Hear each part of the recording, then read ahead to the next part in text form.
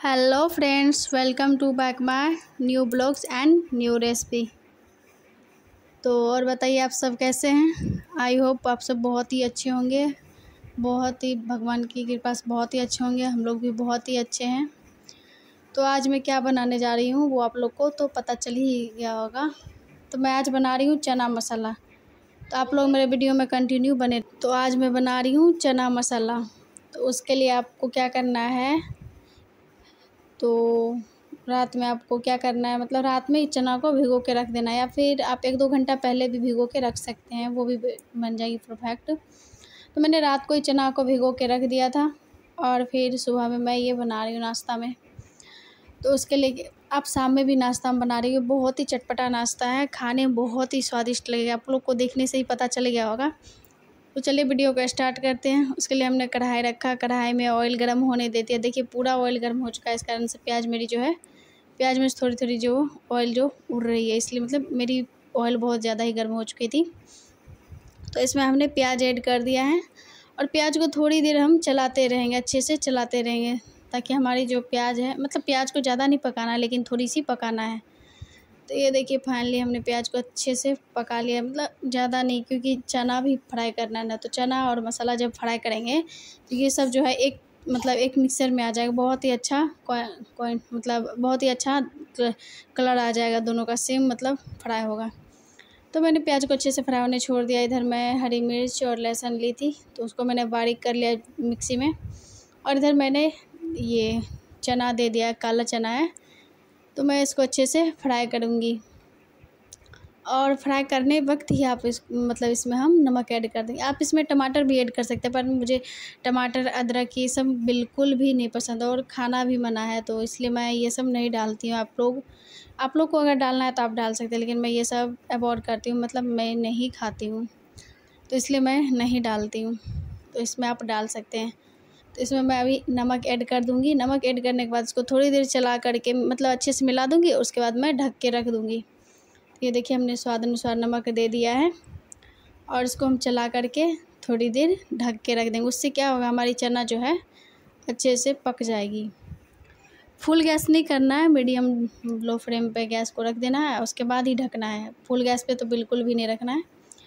तो ये देखिए, फाइनली हमने चना को अच्छे से मिक्स कर दिया है। तो एक हाथ से मोबाइल पकड़ना और एक हाथ से वीडियो बनाना तो वो इधर उधर कढ़ाई जो है फिसल जाती है तो मैं आप लोग को बता रही हूँ।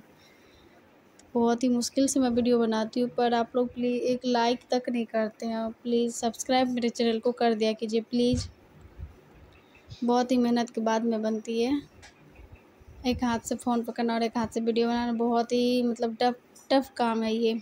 हर कोई करता है पर मुझसे नहीं हो पाता खाना बनाना और फिर मोबाइल भी हैंडल करना। तो चलिए आप लोग को, आप लोग प्लीज़ मेरी सपोर्ट कीजिए। बहुत ही मेहनत से मैं बनाती हूँ। आप लोग एक सपोर्ट कीजिए। आप लोग की सपोर्ट की वजह से ही हर कोई आगे बढ़ रहा है और हम भी आगे बढ़ेंगे। तो प्लीज़ आप लोग सपोर्ट ज़रूर से ज़रूर कीजिए। तो ये देखिए, हमने फाइनली इसको अच्छे से फ्राई कर लिया है। उसमें हम डालेंगे धनिया और ये हमारी गरम मसाला है और इसमें थोड़ी सी मिर्ची ऐड कर दी है हमने। और हल्दी ये सब हमने ऐड कर दिया। नमक तो हमने पहले ही दे रखा था जो आप लोग को मैं दिखाई थी। और इसमें हमने हर मसाला मिक्स कर दिया है। और ये लहसुन मिर्च का जो हमने बारीक करके पिसा हुआ था, वो भी हमने ऐड कर दिया है। तो अभी मतलब कलर कुछ अलग दिख रही होगी आप लोग को, क्योंकि मैंने इसमें थोड़ी सी पानी भी ऐड की है ताकि हमारा चना जो है, करकरा सा ना बने, थोड़ा सा नॉर्मल सॉफ्टी बने। तो इस कारण से हमने पानी ऐड किया है। हमारा चना है वो बहुत ही अच्छी बनेगी। तो ये देखिए हमने मिक्सी में से सारे हमने दे दिया है। अब इसको थोड़ी देर चला देंगे और उसके बाद ढक करके रख देंगे। फुल गैस पे रखना है क्योंकि हमारा चना है जो नाइन्टी प्रतिशत जो है पक चुका है, बस थोड़ी सी पकनी टेन प्रतिशत बाकी है। तो इस कारण से हम इसको ढक के फुल गैस पे रखना है।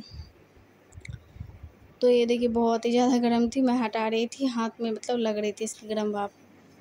तो ये देखिए फाइनली हमारी जो है चना मसाला बहुत ही अच्छे से पक चुकी है। और इसको हम मीडियम गैस पे, अब हम इसको गैस को जो है हम लो फ्लेम कर देंगे और इसको हम थोड़ी देर चलाएँगे जब तक कि हमारी ऑयल छोड़ ना दे। तो ये देखिए कितनी ही अच्छी कलरफुल बनी है। और खाने में तो बहुत ही ज़्यादा स्वादिष्ट लगेगी। आप लोग एक बार बना के ट्राई करके ज़रूर कीजिए। प्लीज़ आप लोग को पता ही मैं वीडियो कैसे बनाती हूँ। प्लीज़ आप लोग सपोर्ट कीजिए। बहुत ही ज़्यादा मतलब परेशान मतलब एक हाथ से फ़ोन पकड़ना और एक हाथ से वीडियो बनाना तो प्लीज़ आप लोग सपोर्ट कीजिए। तो ये देखिए, फाइनली हमने अच्छे से चना मसाला को जो अच्छे से फ्राई कर लिया है। आप लोग सपोर्ट कीजिएगा तो मैं स्टैंड भी लूँगी, जो होता है मोबाइल का स्टैंड, वो भी लूँगी। पर अभी हाथ से ही करना पड़ता है तो इसलिए मैं नहीं ले पा रही हूँ। तो ये देखिए, हमारी चना जो है बहुत ही अच्छे से पक चुकी है। मैंने फ़र्स्ट वाली मतलब हाथ से मैस की तो बहुत ही ज़्यादा गर्म थी दोनों, मेरा हाथ जल रहा था। जो मैं आप लोग को दिखा रही थी। तो ये देखिए कितनी ही स्वादिष्ट बनी है और कितनी ही अच्छी लग रही तो फिर इस पर आप इसके इसको जो है आप ऐसे भी खा सकते हैं अगर जिसको ऐसे ही चना मतलब मॉर्निंग में बहुत आदमी चने को खाते हैं तो बहुत ही ज़्यादा मतलब आप इसको नाश्ता में कहीं ट्रैवल जा रहे तो कहीं भी लेके जा सकते हो। आई होप मेरा वीडियो पसंद आए तो लाइक शेयर सब्सक्राइब कमेंट करना मत भूलिएगा। मेरे चैनल पर नए तो चैनल को सब्सक्राइब ज़रूर कीजिए बेलाइकन घंटे को ज़रूर दबाइए। तो thank you for watching video thank you bye bye guys